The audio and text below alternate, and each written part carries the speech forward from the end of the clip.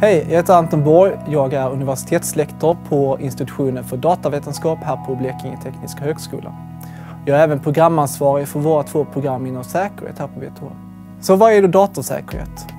Förenklat handlar det om att upptäcka och förhindra obehörig åtkomst och handlingar på ett system av användaren.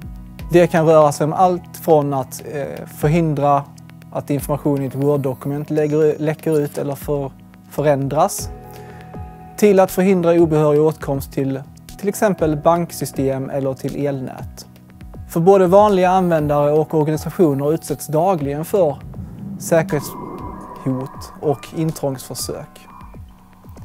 Och behovet att skydda sig mot dessa intrång, attacker eller säkerhetsproblem är oerhört stort. Detta kräver dock specialkunskaper inom IT-säkerhet. Och den här kompetensen är idag en bristvara och kommer nog vara så en bra tid framöver. Vårt samhälle har blivit digitaliserat oerhört snabbt och det är idag knappt någon del som inte använder sig av datorbaserade system eller datorbaserad beräkningskraft. Komplexiteten i vårt samhälle och i våra system har ökat och vi har fler och fler system som interagerar med varandra. Vilket också leder till ökade säkerhetsproblem. Idag använder sjukvården till exempel datorbaserade system för till exempel journalhantering, men även för medicinsk utrustning. Och detta kan då leda till säkerhetsproblem.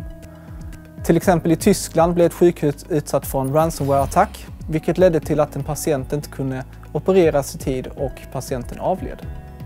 Även vår kritiska infrastruktur är idag digitaliserad, till exempel elnätet, vilket öppnar upp för nya sårbarheter. 2015 genomfördes en attack mot elnätet i Ukraina där 225 000 eh, kunder blev utan ström. Detta var inte helt trivialt att återställa, vilket visar också på vikten av säkerhet i vår infrastruktur. I takt med att samhället digitaliseras ytterligare så blir också säkerheten i våra system väldigt mycket viktigare. Typen av säkerhetslösningar som krävs beror väldigt mycket på vilka tillgångar vi har och vad de här tillgångarna ska skyddas mot. Och det ska då tilläggas också att den typen av säkerhetslösningar vi kanske tar fram för att lösa ett problem inte är en slutgiltig lösning eller slutgiltig produkt utan det här är en process som måste hållas uppdaterad hela tiden för att även skydda mot morgondagens attacker. Ett av de stora problemen med säkerhet är att det är svårt att mäta. Det kan vara tydligt vad kostnaden är för en attack när den väl har genomförts.